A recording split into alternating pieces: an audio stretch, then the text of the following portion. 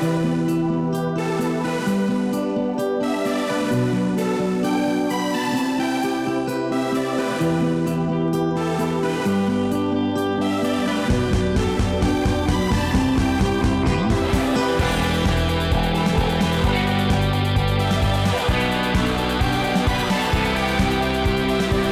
guys, welcome to today's Devo. Thank you guys so much for joining. We love each and every one of you. Hope you enjoy.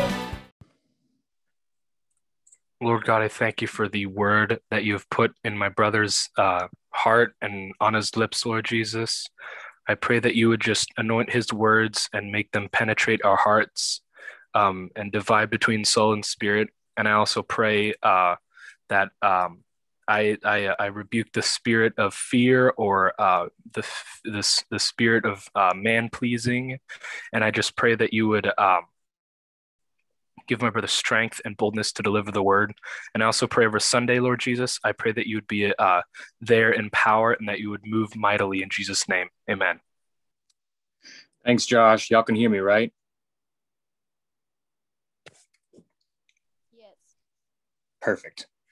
All right. So uh, it's actually kind of funny that uh, the schedule should put me and my brother on together today because I'm going to be speaking on love, and uh, you'll get why I say that more as I go on.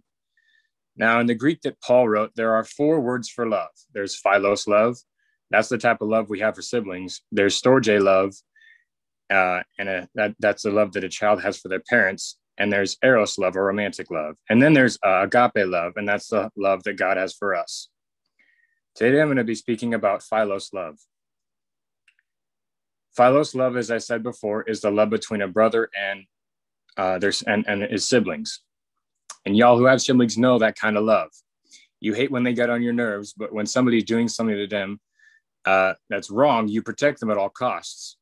God designed that relationship as a way to teach us how to treat each other as Christians. John 13, 35 in the Amplified Version says, By everyone you by this uh, everyone will know that you are my disciples, if you have love and unselfish concern for one another. There's a story of when John the Apostle, not to be accused, uh, uh, confused with John the Baptist, was old and crippled.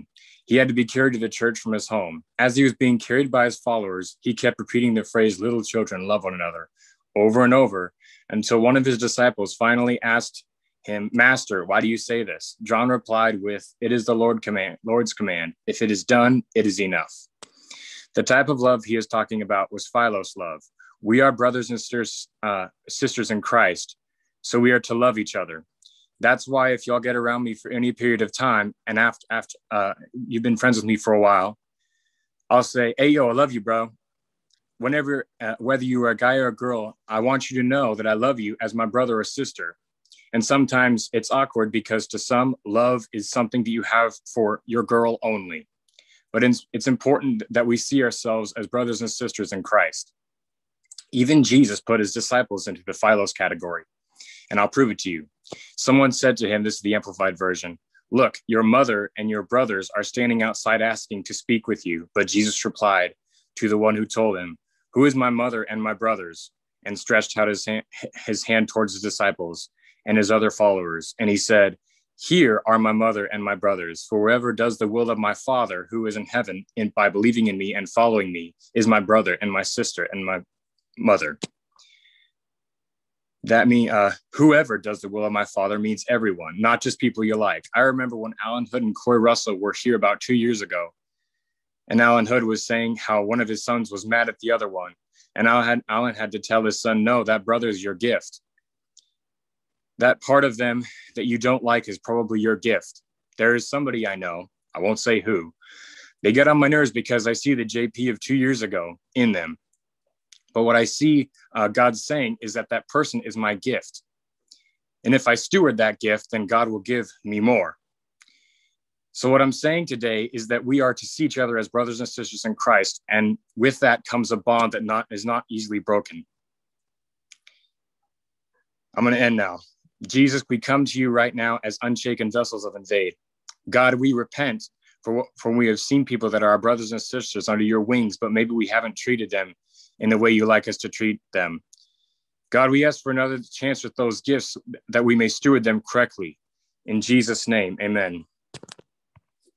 Hey guys, hope you enjoyed that video. Be sure to like the video and subscribe to our channel. If you want to stay tuned in for more, be sure to hit that notification bell. And also follow us on Instagram at shaken underscore vessels. That's all we have for today. Thank you.